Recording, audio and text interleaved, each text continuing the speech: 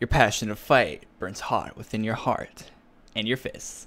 Stop, drop, and roll. Stop, drop, and roll. Welcome to the video, guys. That is description for the weapon we are going for today. These nice white and black flaming fists. Very cool. I remember the last time one of these were a drop, I wasn't able to get it. I got this one. I'm going to show you how to get it. It's not a drop, it's a merge, but I'll show you where the merge is and how to get the tokens for the merge in this video. Let's get started in three, two one. And it's not gonna cut off the one because i'm gonna keep talking and intro play.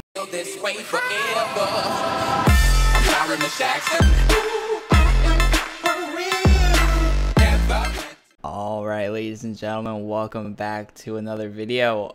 All right so these new weapons are of course in the newest area in the game. If it's not the newest area in the game then you won't be able to click right there you'll have to slash join, sorry for the loud ass keyboard, white hole. I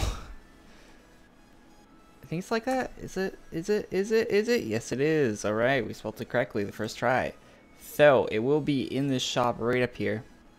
They are an AC item and they are non-members. So you just need four. Well, not you need ten, not four. I have four, but you need ten of these fangs. There's also a few other items in this merch shop, including a dark matter cape. So I will also show you what that looks like equipped in a few pretty cool uh, weapons, inc including a tiered weapon where you have to get this one, then that one, and then that one. So it's a whole big process to getting that big weapon. And that weapon's actually pretty big in game. If you have it in game, I've seen it in game. It looks very big. So uh, to get the tokens, basically you have to run to the very, very, very end of this area, and it is a long run. There's no way to skip it, to my knowledge. There might be uh, maybe check that menu that I was just in.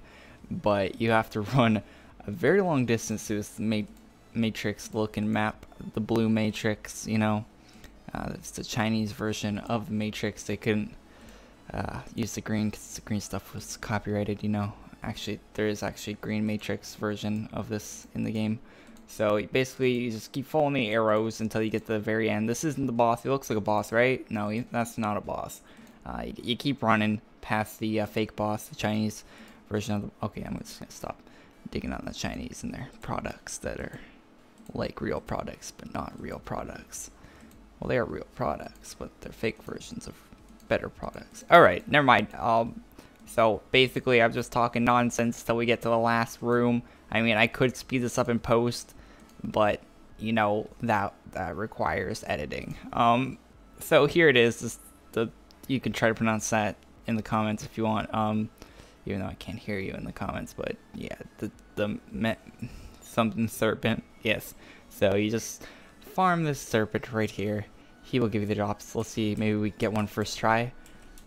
So I'm gonna show it on screen. I'll either I'll, okay, I'll pause it right now, or after this kill, I'll show you that it actually drops the drop. So I'll get one of these on screen. No, no, it does not. I'll be back once I get one of these drops. Alright, I got one of the fangs.